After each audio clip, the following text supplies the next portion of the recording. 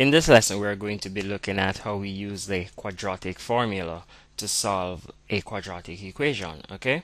Now, in its general form, a quadratic formula, it looks like, it looks like this. x is equal to minus b plus or minus, we're taking the positive or the negative, root, and that's the square root, of b square minus 4ac, okay? And that is all over. And when I say all over if you note please where I'm starting to draw my line that all of that is over 2a okay? All of that is over 2a let me write my 2 a little bit better. All of that is over 2a okay cool. Now the quadratic formula and the quadratic equation shares a very unique relationship okay? And in future videos I'm going to be looking at the proof of the quadratic formula okay? How we derive the quadratic formula from the quadratic equation all right? But let's not worry about that for now. Uh, what we're going to be looking at is just how we solve a quadratic equation by using the quadratic formula. Good. Now take a simple quadratic uh, equation right you may have x squared plus 5x plus 6 and that is equal to 0 because we're using equations now. We're solving equations right? So a would be equal first we identify our a. A is 1 b is equal to 5 and our c is equal to 6 okay? So now in solving my formula states that x squared if I'm using my formula to solve oops let me not use a red because the red can be a little bit strenuous on the eyes right? So let me say x is equal to minus b plus or minus the square root of b square minus 4ac all over. It's all over 2a basically what I'll be doing here I am just going to substitute and solve for x. Okay guys? So let's just work with me carefully here now. Good? This is pretty easy. And I think after you have worked a few of them you will find it to be fun. Okay?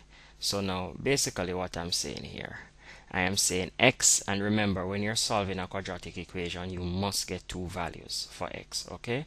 So x is equal to minus and I'm substituting what is b. So minus open bracket b is 5 okay?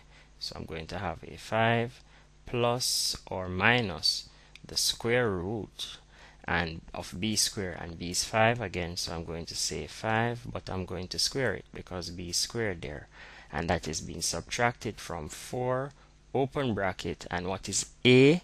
4 is multiplying a so I'm going to substitute the value of a for a, is 1 and I'm going to close my bracket. Let me extend this a little bit more and I'm going to multiply that by c okay? And what is c? C is 6 okay guys? Good. Now if you look carefully what is happening here now all I did oh well if you're not familiar with brackets these brackets brackets beside each other means to multiply okay?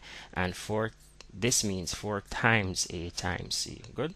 Now all of this is all over 2 and I'm saying 2 times what is a. We had a 1 for a okay and it's that easy. So all we're going to do now is to simplify and solve okay? So we have x is equal to when a negative sign is in front of a a, a, a, a bracket. It simply means that I want the opposite of what is inside the bracket. So since it's a positive 5 inside the bracket it simply means I'm going to need a negative 5 okay? And that is plus or minus the square root. And I'm squaring 5 so I'm saying 5 times 5 and that would give me 25 okay? And I'm saying 4 minus remember that's a minus 4 so I'm saying minus 4 ones 4 and 4 sixes 24 okay? So I'll have a negative 24 there. And that is all over. 2 times 1 is 2 okay? It's that easy. And let's just simplify this a little bit more. Okay? I'm just walking you through it step by step so that you are clear as to what you're doing. Okay guys?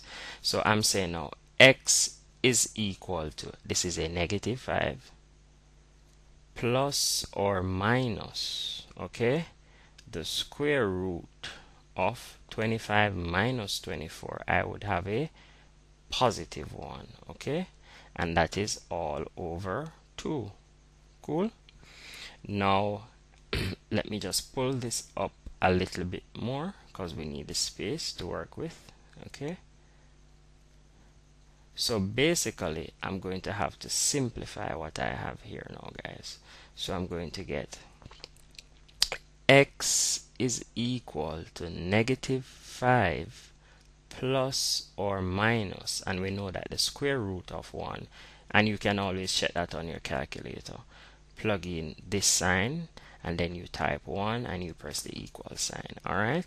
And the square root of 1 is 1 and that is all over 2 okay? So now since I've gotten rid of my square root sign now and I have minus 5 plus or minus 1 all over 2 then simply this is easy in. What I'm going to say now I'm going to say and look at what I'm doing I'm going to split the negative and the positive sign now. I am going to say x is equal to minus 5 this minus 5 and I'm going to use my plus sign here plus 1 and I'm going to put all of that over 2 okay uh, and then I'm going to say or or let me change the color.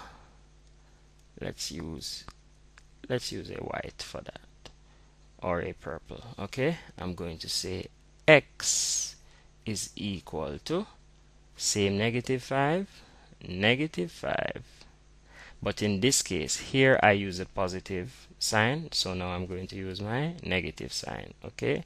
Negative 1 cool. All over 2 so all I'm going to do I'm just going to simplify this. So over here now I would have x is equal to negative 5 minus 1 I would get a minus 4 over 2 okay which is equal to 2 divide negative 4 divided by 2 will give me a negative 2 okay? Because a negative divided by a positive will give me a negative and 4 divided by 2 is 2 and also over here now I would have x is equal to. When the signs are the same we add and we keep our sign. So I have a negative 5 and a negative 1 so I'm going to say 5 plus 1 will give me a 6 but if you notice it's two negative numbers I, I added. So I'm going to put my negative sign back and that is over 2 so this also will work out to be a negative number okay? So I will have a negative because a negative divided by a positive will give me a negative and 6 divided by 2 will give me 3 and those are my answers okay guys? It's that easy. So again you notice we got two answers. X is equal to negative 2 and x is equal to negative 3 okay? Feel free to subscribe to this channel so that you can get the latest updates on our videos. Or if you have any questions or comments feel free to post them and we'll get back to you as soon as possible. Thanks and bye bye